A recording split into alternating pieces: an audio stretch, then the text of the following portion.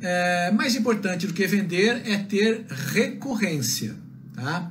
Então, começa a imaginar o seu mapa de guerra.